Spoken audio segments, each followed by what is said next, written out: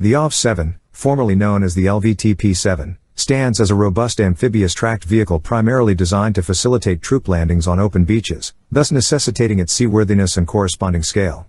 Conceived as a successor to the LVTP-5 series, the LVTP-7 prototype emerged in 1967, with production initiated during 1970 to 1971. Renamed the AAV-7 in 1985, over 1,500 units were produced by the cessation of production, serving not only the U.S. Marines but also seven export clients, including Argentina, Brazil, Italy, South Korea, Spain, and Thailand. Initially slated for replacement by a next-gen amphibious combat vehicle, the AAV-7A1, a new expeditionary fighting vehicle was proposed. However, it wasn't adopted by the U.S. Marine Corps due to funding constraints, leaving the aging AAV-7s in active service. Refurbished and upgraded AAV-7s are expected to remain operational until 2035. Manning the AAV-7 are a crew of three, commander, gunner, and driver. Its capacious troop compartment accommodates up to 25 Marines or around 4,500 kilograms of supplies, with troops seated on benches and access via a large rear-mounted ramp or roof hatches. Launched from amphibious assault ships, the AAV-7 is self-deploying and engineered for forced entry into semi-aquatic zones.